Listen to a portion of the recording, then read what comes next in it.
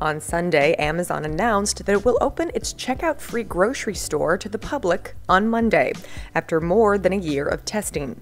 The Seattle store, known as Amazon Go, relies on cameras and sensors to track what shoppers remove from the shelves and what they put back.